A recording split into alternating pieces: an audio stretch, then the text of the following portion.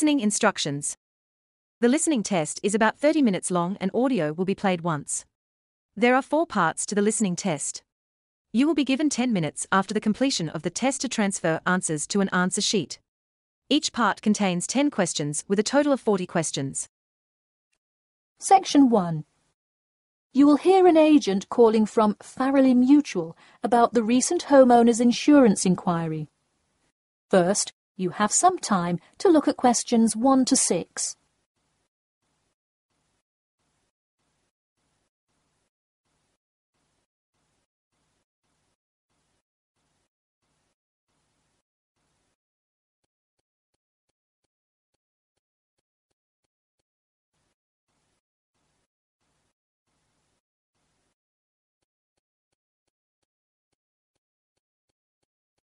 You will see that there is an example which has been done for you.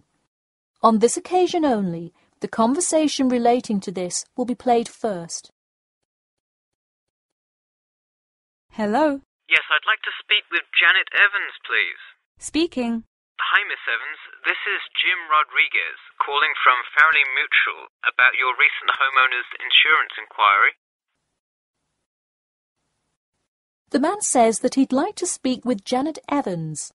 So, Janet Evans has been written in the space. Now we shall begin. You should answer the questions as you listen, because you will not hear the recording a second time.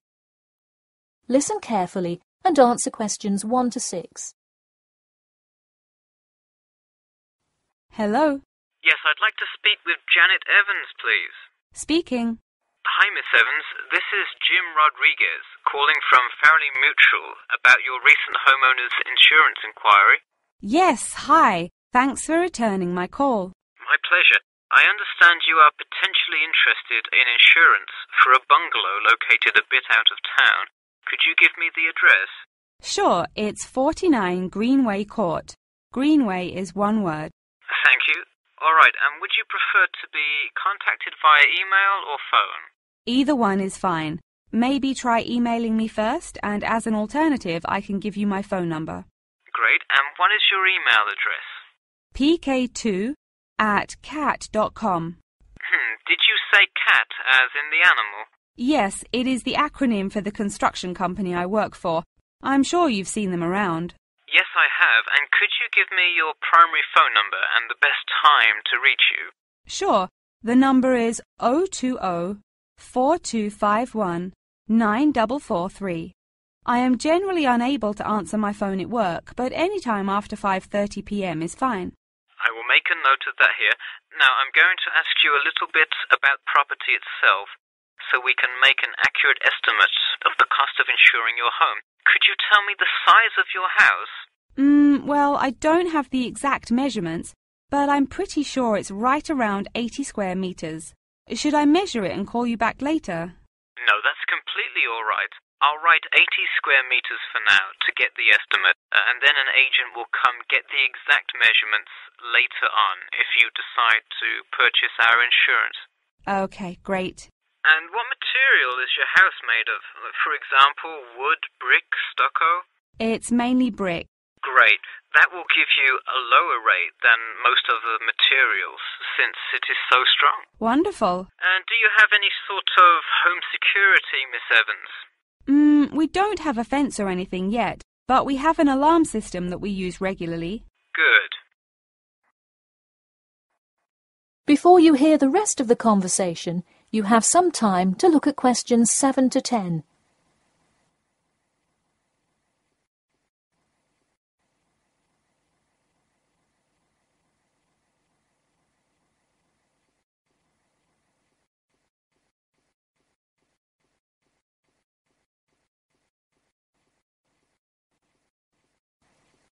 Now listen and answer questions 7 to 10. Now I'll go through a number of things we offer coverage for, and I'd like you to tell me which items you want your policy to cover. Okay. We'll start with the building itself first. Would you like us to cover incidental damage to the structure to your house? Absolutely. Splendid. And the contents inside your house? We usually cover all items with an appraised value of about £200. Would you like us to cover theft and damage beyond natural wear and tear? I will let you know that the second option here will come with a considerable increase in your rates. I think I'd just like the contents of the house to be covered against theft then. All right, and would you like any other insurance? Fire, flood, etc.?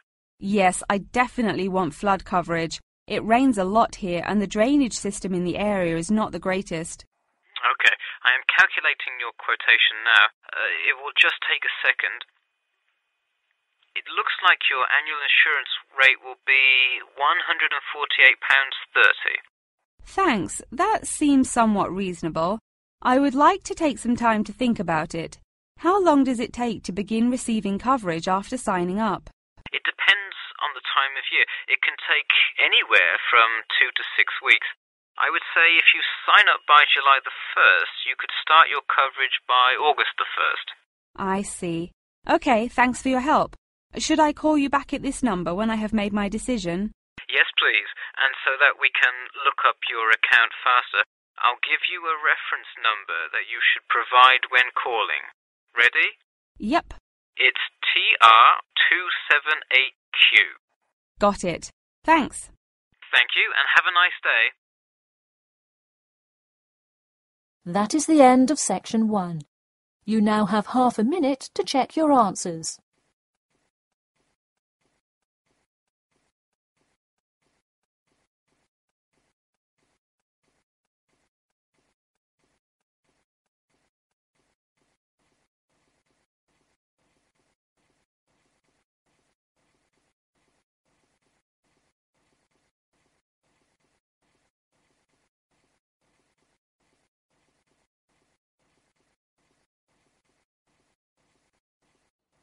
Now turn two. to section two. You will hear a talk about a pool and outdoor venue created by some people. First, you have some time to look at questions 11 to 14.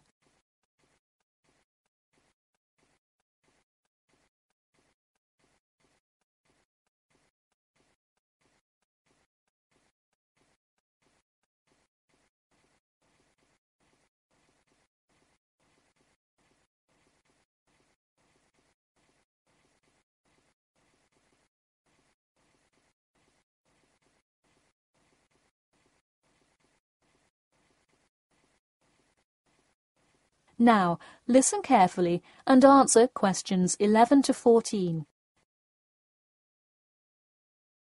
Hey, if you're just joining us on WKPX The Sound, welcome.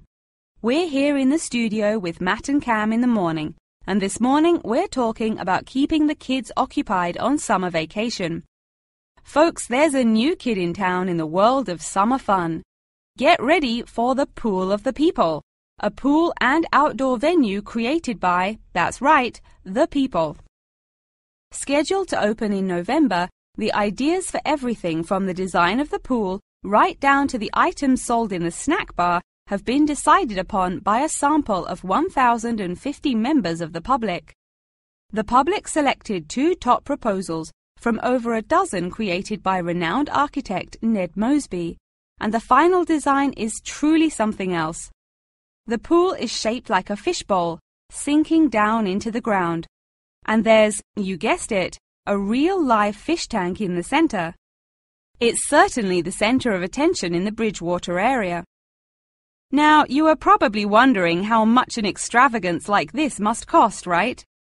Well, have no fear. At just £15 for adults and £10 for kids, it's an affordable way to entertain the kids in those dog days of summer. The only problem now is the possibility that it will in fact become too popular. The pool is only so large, so swarms of people coming to enjoy it may cause quite a crowd in its first summer of opening. There will be an opening party for a select audience, and in line with the pool's mission, the people have decided on all the arrangements. They collectively decided on actress Rebel Wilson to host in the festivities scheduled for later this month, and even dictated the playlist by ranking their top 10 songs from a list of hundreds. There is some discrepancy, however, on the sculpture design for the foyer at the entrance.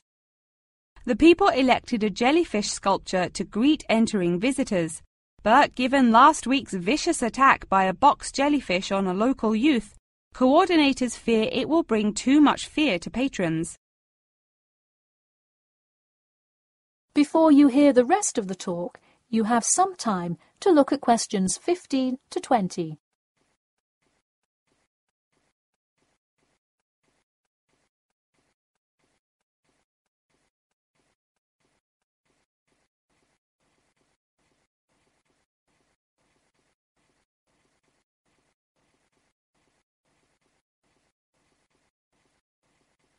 Now listen and answer questions 15 to 20. The theme of the clubhouse is set to be International Waters, with a different section representing each continent, designed by the legendary local artist Roberta Annuzzi. Representing Asia in the reception area will be a mosaic made up of prominent animals indigenous to the continent a camel, a panda, and the Siberian white tiger, to name just a few. In the West Lounge, feel the cool, icy vibes of the transantarctic mountains of Antarctica. Makes you cold just thinking about it, doesn't it? Just seeing a wall with a mural of the glacial mountains is almost enough to cool you off on a December afternoon. Almost. Why not make the trip to the pool a social studies lesson at the same time? The theme in the ladies' lounge room for Africa may not be what you expected. A safari? Drum music? The Nile River? No. Did you know that Africa was home to the first jewelry? I sure didn't. By contrast, as you may expect, North America's theme for the card room is as modern, even futuristic as it gets. Annuzzi created for North America a sort of absurdist print interestingly juxtaposing the moon landing of 1969 with an abstract depiction of humans living on Mars. Seems to me like an interesting commentary on the future of space exploration. And in the men's lounge room, the ancient forts of Sparta, Rome, Greece, and other European civilizations fittingly exhibit the strength and combatant characteristics of these societies. Finally, the cafe and breakfast room area is an enchanting round room that draws all attention to its center, where there is a strikingly realistic sculpture of a volcano. The delicious food may actually be only the second most exciting part of this room in comparison to the nine-foot statue, complete with brightly colored molten lava to characterize South America. Honestly, it is like a museum visiting each room of the clubhouse. Why not make the trip to the pool an educational one for the kids? We're going to take a quick commercial break here at WKPX, but we'll be back in 10 with more on what's touted to be the summer's hottest place to beat the heat. That is the end of section 2. You now have half a minute to check your answers.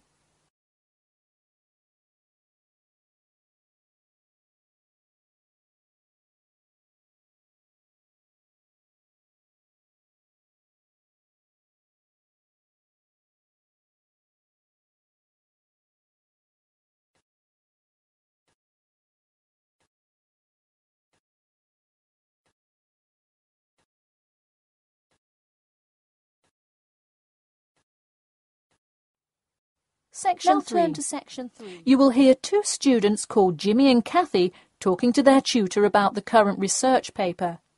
First, you have some time to look at questions 21 to 25.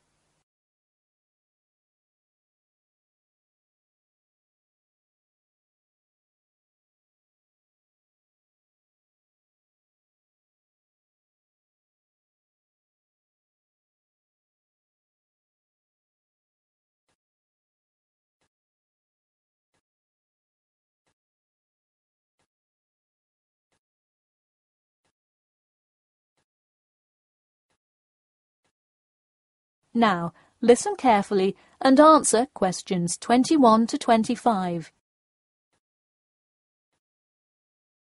Before we start, Jimmy and Kathy, thanks for coming in today to talk about your current research paper. Well, I will also give you some suggestions for your future presentation later. That's great.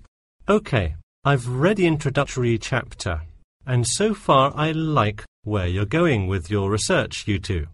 Thanks. What did you think of the procedure section? I haven't got there yet. I'll get to that and the results and discussion section in a bit. Oh, if you haven't read the rest, are you just saying you like the introduction? No, the layout is really well done. You have each section clearly marked and have the header and footer perfectly formatted, and your title page is right on the money. A lot of students have trouble with that one. To be honest, we did refer a lot to the example we received in class. That's good to do for spacing and layout, as long as you're not also copying the information. The background information is a little sparse, though. You may want to add to it. You think so? I was more worried about whether I had enough data. You definitely need more background information. I would think about finding some more online articles or doing more research in the campus library. That's a good idea. We can go tomorrow. I find it too tough finding the subject matter in the online journal database. I also like being able to flip through the physical journal as opposed to trying to scroll down on a computer. Me too. Oh, I almost forgot. I've included all of my citations in the abstract, but could you help me with the bibliography? I should be using a bibliography, right? Not an appendix. Sure, I can help with that. Yes, for this type of scientific research paper, list all sources that you cite in the body of your paper in a bibliography. Go to the website I gave you last time to see the exact way to list each source. Okay, thanks. I'll do that. We still have a lot of things to fix up. Yeah, but there's a lot of good stuff here to work with. So, enough about the paper. How is the presentation going? Well, it's all right. I'm going to go try out the new presentation software while Jimmy's working on the bibliography. Yeah, we are hoping to make an animation of an actual pump, but still have a lot to learn about how to do that. Before you hear the rest of the talk, you have some time to look at questions 26 to 30.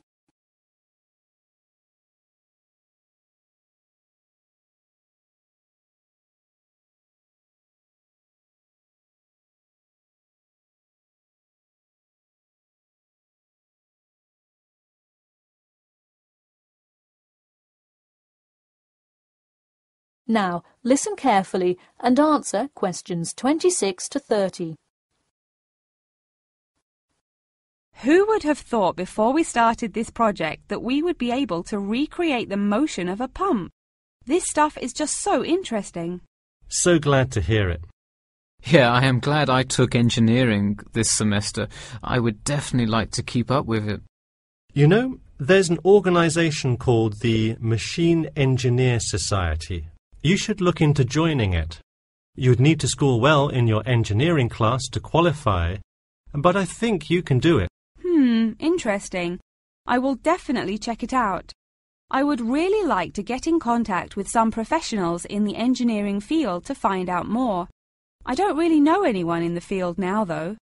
I think if you keep meeting people in your classes and professors, you'll, you'll be able to get in contact with some really helpful people. Well said, Jimmy. If engineering pumps is something you both are specifically interested in, make sure you stay up to date on new developments. In fact, you could visit the local water treatment facility periodically to see what new developments are going on. Hmm, that may be a good way to get some practical experience. Well, I don't think they would let you handle any equipment by just visiting the facility. If you really want to get your hands dirty, so to speak, I would recommend instead seeking a summer internship. Wow, you have so many helpful suggestions for getting a leg up. Now, if only you could tell me how to get my work published. Wouldn't that be nice? Well, honestly, all you really need to do is, once you have a dissertation, present it. Present it often and to many audiences, and once you get feedback, adjust it. You'll get published one day. Wow, this meeting has been truly inspiring. Thanks for your help. That is the end of section three. You now have half a minute to check your answers.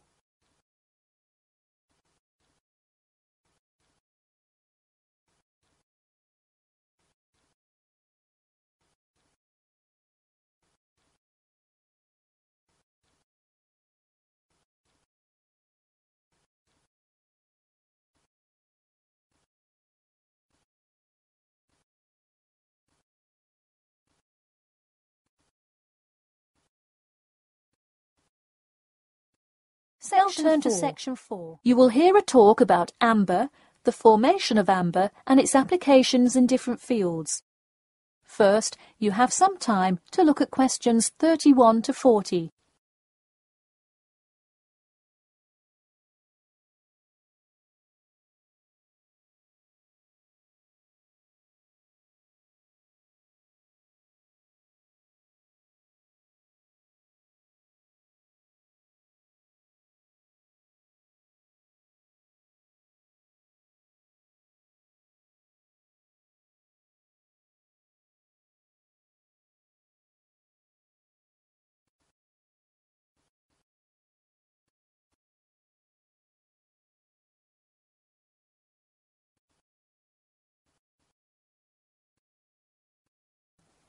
Now, listen carefully and answer questions 31 to 40.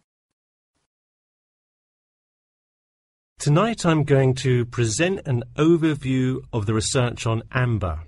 Okay, I'll start by giving a brief introduction about amber, then talk about the formation of amber, and then describe amber's applications in different fields.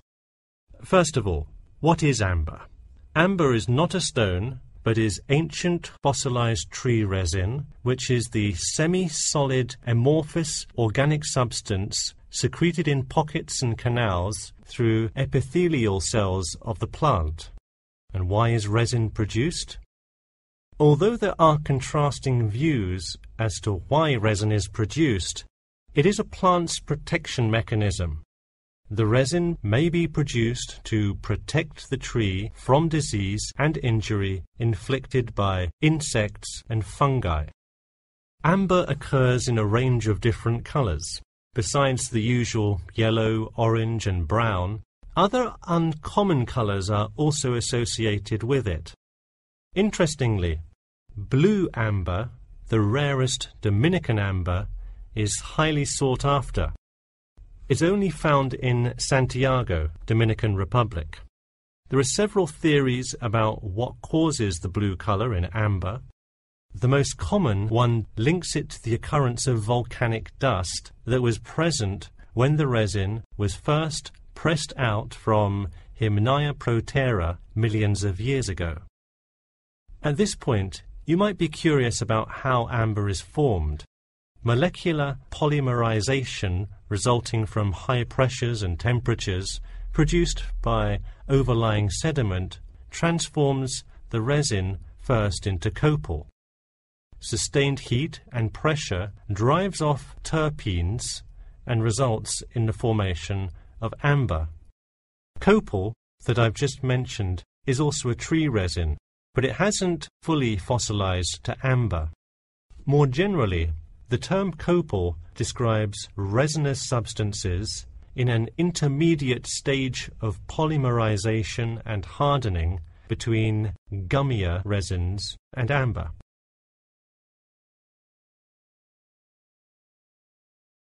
So where can we find amber? It can be found on seashores. The main producer worldwide is Russia. In fact, about 90% of the world's available amber is located in the Kaliningrad region of Russia, which is located on the Baltic. Here, the resin is washed up on the coast after being dislodged from the ocean floor by years of water and ocean currents. However, exposure to sunlight, rain, and temperate extremes tends to disintegrate resin. This also indicates that amber is not really an ideal fossil preservative for most uses. We've already learned that amber is made of tree resin. It often includes insects that were trapped within the tree many millions of years ago. A piece with a visible and well-arranged insect is generally valued much higher than simple, solid amber.